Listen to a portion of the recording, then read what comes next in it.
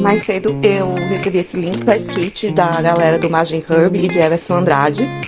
É, eu noticiei mais cedo no Brechando que eles vão ter uma exposição fotográfica sobre fotolivros que acontecerá no dia 10, a partir das 6 horas.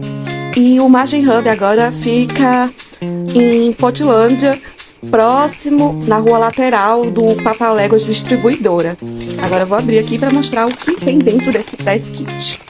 E aqui mostra um pouquinho do trabalho dele. E também tem textos de outras pessoas. Foi por causa dele, de Everson, que me inspirou a fazer jornalismo gonzo. E também foi ele o casador de conhecer a revista Trip. Então vale uma pena conferir porque é um trabalho bastante interessante. E ainda vem um, uma caneta com 1.07 que isso me ajuda bastante porque é a única que me deixa com letra bonita, né?